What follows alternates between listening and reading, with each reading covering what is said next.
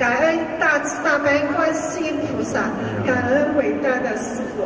师傅，请您快看我女儿，她八六年一月份有，她脑子上的，她脑子上的灵性很厉害。看看哦，八六年属牛的是吧？是的，一月份的牛。嗯。哎呦，我跟你说啊，一个灵性在他身上很长时间了，这个脑瘤是慢慢慢慢让他长大的，你听得懂吗？脑子啊，这里长了个很小的东西。他一直抓这个地方的一块肉，他都长这么大。我跟你说，那是外面，它里面就这么大。有的瘤啊。哎，一个小瘤。堵塞了他一点点血管，所以他经常只要血走到这个地方，他就会有一点人好像有点发呆一样。但是呢，一会儿好，一会儿不好。是这样，是这样。哎，对不对呀？好厉害！好厉害！我告诉你，他实际上脑子很清楚的，他清楚的时候非常清楚。实际上，这个灵性在他身上的时候，他就糊涂。明白吗？经常是这样。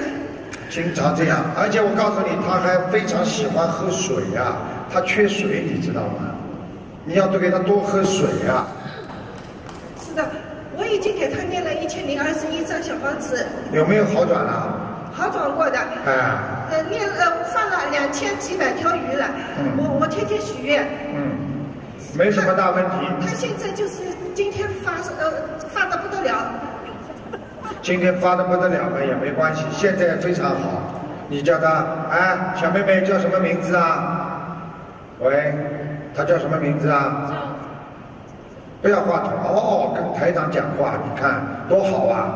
你不要给他，你是跟他有冤结的，所以你做什么事情他都不喜欢你的，人家很正常的，很乖的，对不对呀？